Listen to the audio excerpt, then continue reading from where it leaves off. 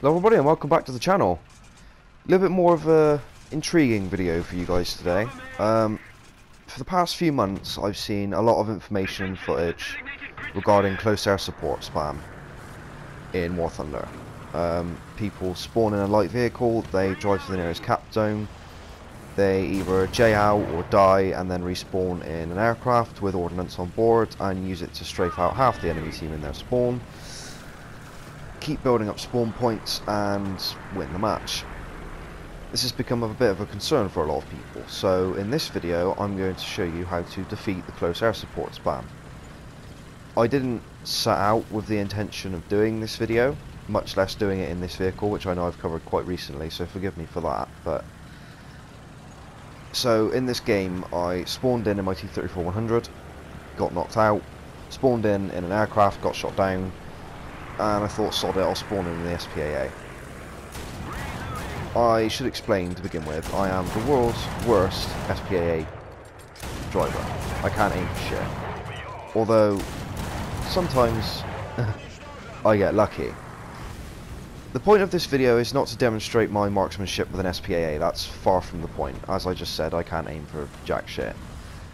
The point I'm trying to prove is that SPAA still has value in War Thunder it's the perfect way to defeat um, this close air support spam, as you would imagine, it's what it's designed for.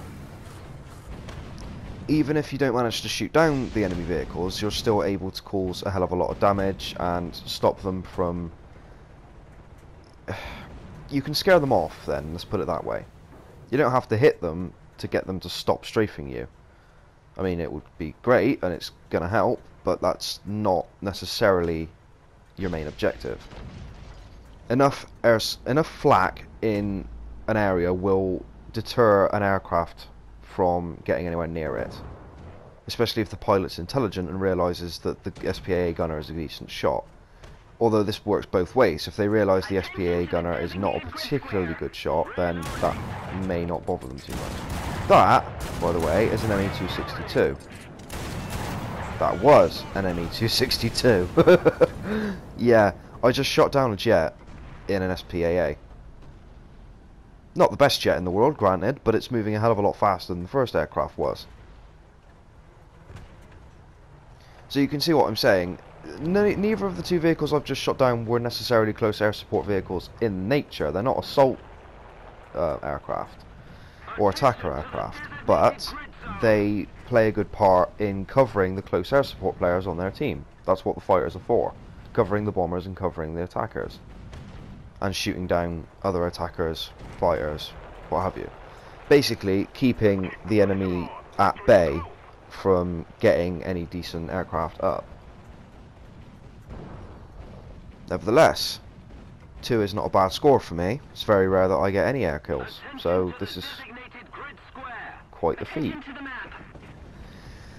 Okay, so the close air support has been suggested to be the best way to play War Thunder, as in the easiest way to grind XP. Although there's an issue with this. Gaining XP involves gaining XP in a certain vehicle relevant to what you want to grind. So if you want to grind air experience points, then you're going to have to fly an aircraft. If you want to grind ground, you're going to have to grind ground. That goes without saying. But it goes further than that.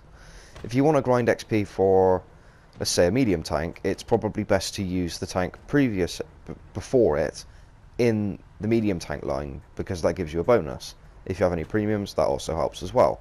So close, uh, close air support is not the greatest way of grinding experience in ground forces for ground forces vehicles because you're flying an aircraft the majority of the time. But what it does allow you to do is give you enough spawn points to keep spawning into the match and keep prolonging the match to an extent that your ground vehicles become become more of a feasible um, option throughout the game.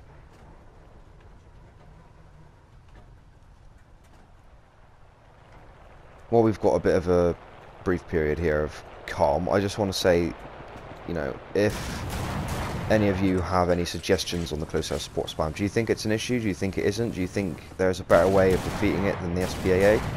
Let me know in the comments. I'm interested to see what you have to say. So is our next target. This is an incredibly long range in comparison to the last two, but I figure I'll take some speculative shots anyway. If nothing else, it'll distract him while the F8F tries to get a decent shot. Like I said, you don't necessarily have to hit the aircraft to scare them and make them reevaluate their situation.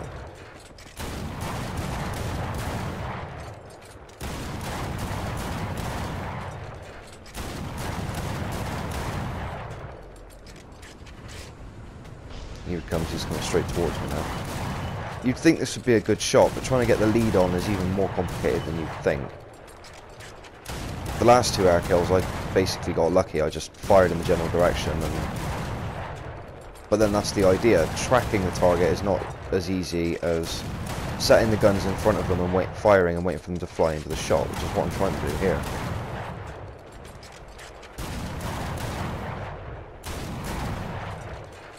A little bit higher.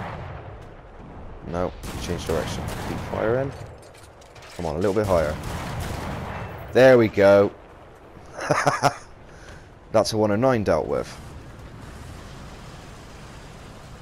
So the game is going to come to a close here, and we'll go to we'll go to the uh, results, see what we got out of this game.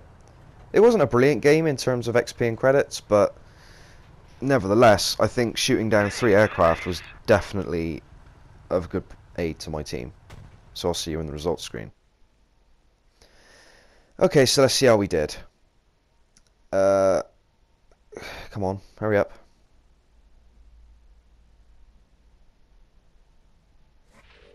Here we go.